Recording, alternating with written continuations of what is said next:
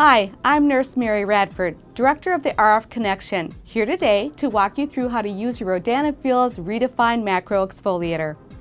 Before you get started, use a gentle, non-exfoliating, non-oily cleanser to remove makeup and cleanse your skin. I like to use our Redefine eye cloths. Your skin must be clean and completely dry before use.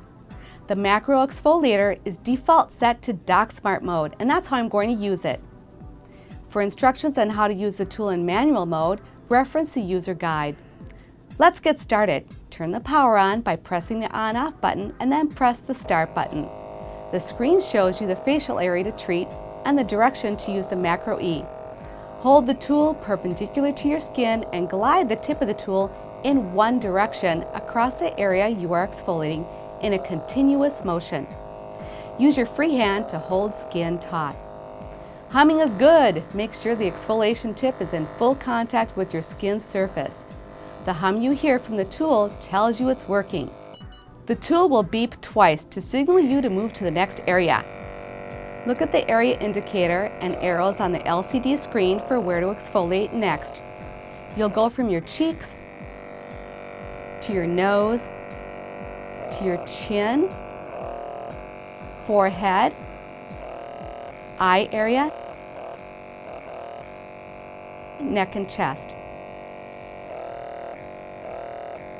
Keep going until all areas are covered and the program is completed.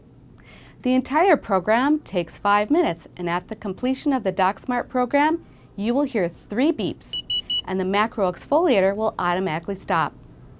Turn the macro exfoliator off by pressing the on-off button.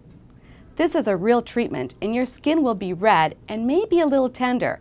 Apply one ampule of the Macro Exfoliator Cooling Gel to instantly soothe and calm just macro exfoliated skin. Apply the entire contents on all exfoliated areas, including the neck and chest.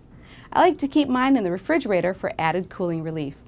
If your skin feels dry, follow with a facial moisturizer. Now let's see what a week's worth of dead skin cells looks like. Pull the tip out, unscrew the filter, and have a look.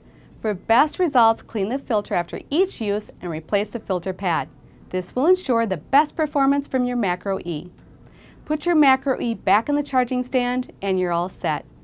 Don't forget to schedule your weekly appointment and record your progress with the Macro Exfoliator Companion app.